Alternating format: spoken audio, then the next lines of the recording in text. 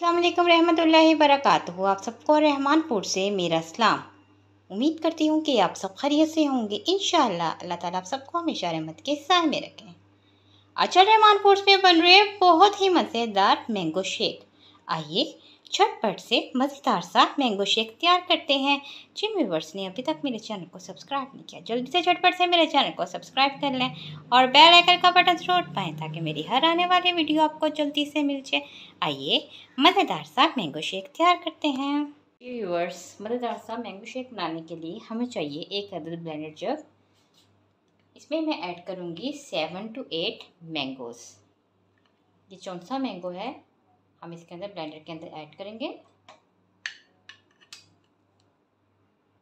जी viewers mangoes मैंने जग में add कर दी है। अब मैं इसके अंदर ऐड करूँगी थ्री टेबल स्पून वीपी विप क्रीम ये बहुत ही मज़ेदार और यमी बाज़ार जैसा मिल्क शेक तैयार होगा।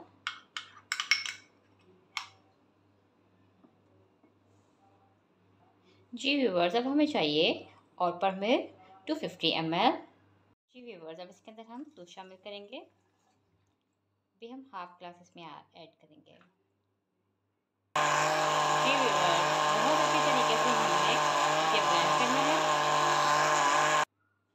जी व्यूवर्स अब इसके अंदर हम और दूध शामिल करेंगे।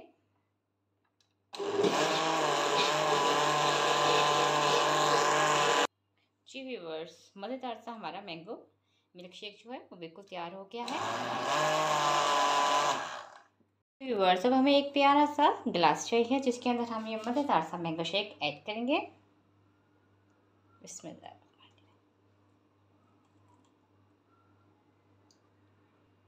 जी व्यूवर्स गिलास में मैंने सबसे पहले रूह अफ़ज़ा ऐड किया हुआ था, और फिर मैंने इसके अंदर मैंगो शेक ऐड कर दिया है। अब विपी विप क्रीम की मदद से हम बहुत प्यारे सी इस पर डेकोरेशन करेंगे।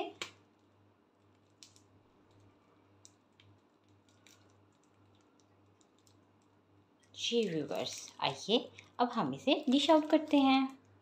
आओ मज़ेदार, इतने मज़े का मैंगो शेक तैयार हो गया है झटपट से। आप भी इसी तरीके से, इसी मेथड से अपने घर में मज़ेदार सा मैंगो शेक बनाएँ और मज़ा कीजिए। अल्लाह ताला आप सबको आफ़ियत अली ज़िंदगी अता करें। दोनों जहाँ की ढेरों खुशियाँ अता करें। अल्लाह ताला आप सब पे अपना ख़ास करम करे। मुझे भी हमेशा अपनी दुआ में याद रखिएगा।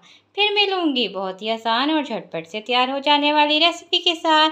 इन जिन व्यूवर्स ने अभी तक मेरे चैनल को सब्सक्राइब नहीं किया, जल्दी से झटपट से मेरे चैनल को सब्सक्राइब कर लें और बेल आइकन का बटन ज़रूर पाएँ ताकि मेरी हर आने वाली वीडियो आपको जल्दी से मिल जाए। इन फिर मिलूँगी। अपना बहुत ख्याल रखिएगा। अल्लाह हाफिज़।